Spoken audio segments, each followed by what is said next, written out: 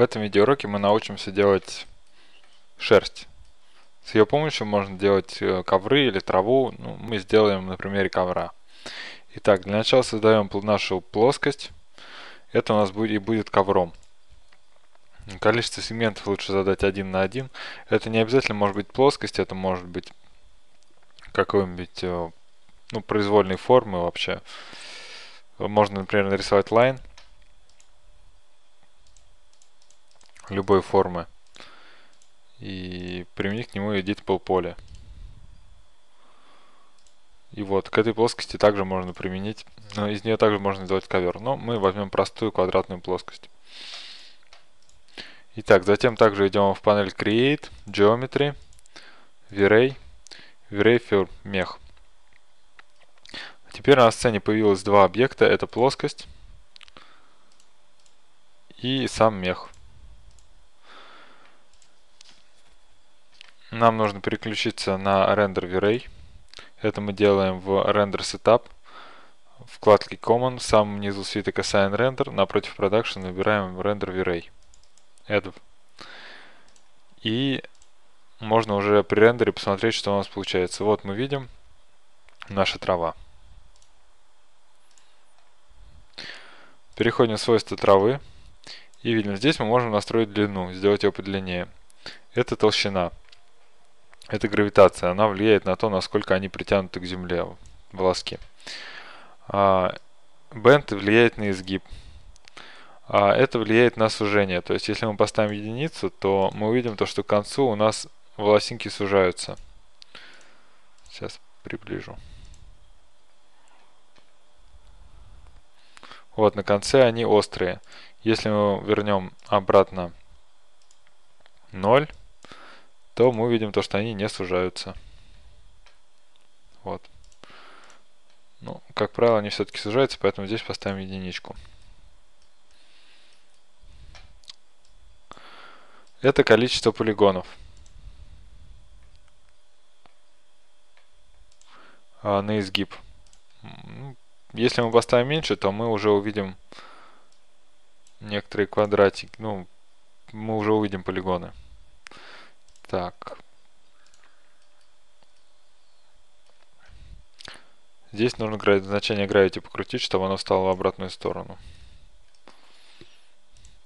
То есть волосики станут плоскими, если мы сделаем им мало полигонов.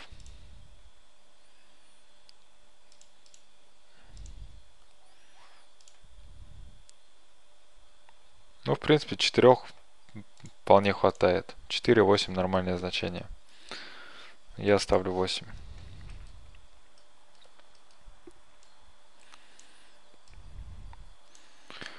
А если, волос, если у вас мало волосиков, как вам считается, или они редко стоят, то вот это значение позволяет увеличить их количество. Допустим, увеличим их в 4 раза.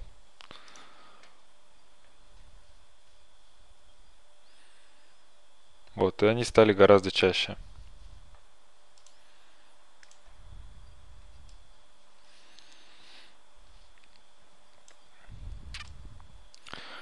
Очень интересный свиток Maps. Допустим, нам нужно, чтобы трава росла нерегулярно.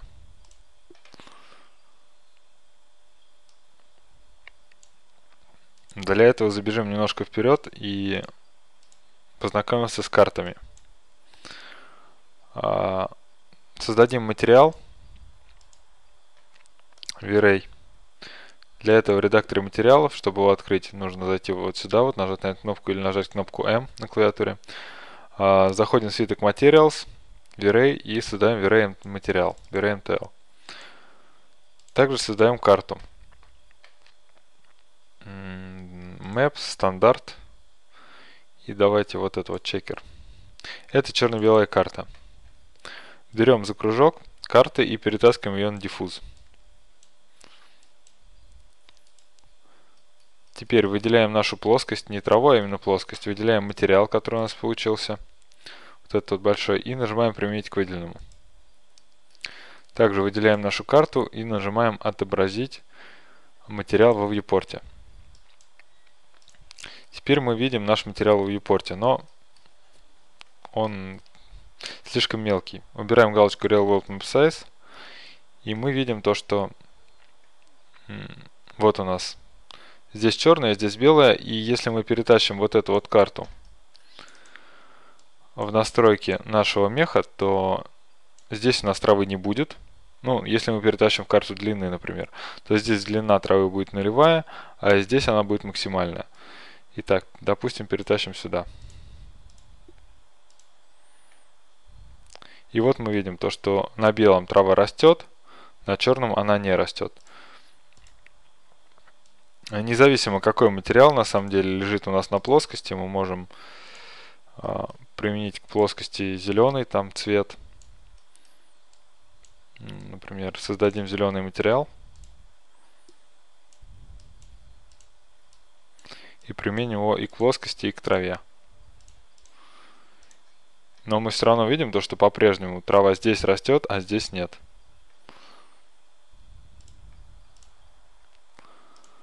Точно так же мы можем, например, не эту простую карту, а любую другую. Не обязательно карту, можно вообще любой рисунок сюда перетащить, любую фотографию. Например, где градиент. Вот, карту градиента применим к нашему меху. Тоже к длине. Заменим чекер на градиент.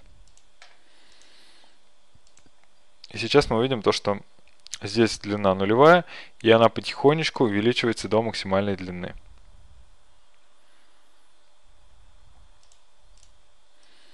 Особенно это видно в профиле, естественно.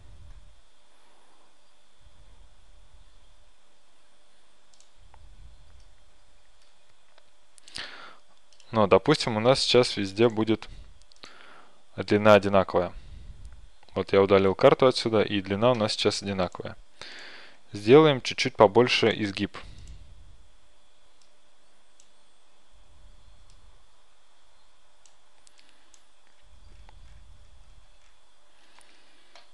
И у нас есть карта изгиба. Вот Bend Map. Перетащим сюда и отрендерим. И вот мы видим то, что слева у нас травинки вообще не изогнуты, а справа изогнуты. И потихонечку у нас переходит из прямых травинок в изогнутые. Можем применить карту, например, Noise. Это рандомная карта. Также перетащим ее, например, в Bend. И мы увидим то, что сейчас рандомно. Где-то волосики прямые, где-то изогнутые.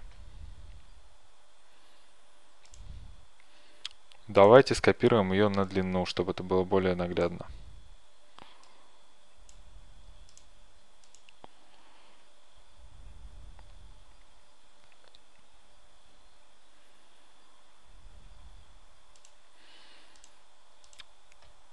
Так, здесь нужно однозначно настроить это наложение карты. Возможно, она не в масштабе немножко. Давайте посмотрим, как эта карта лежит на плоскости. Применим к плоскости вот этот вот материал, к которому применена вот эта карта Noise. И сделаем карту Noise видимо его в viewport. Вот, она вроде как стала видимой.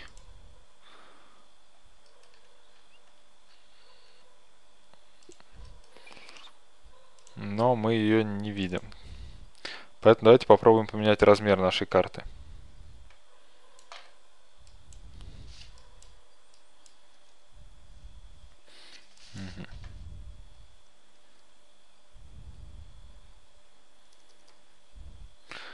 Вот, поменяли размер нашей карты, и теперь мы увидим то, что рандом у нас все же будет.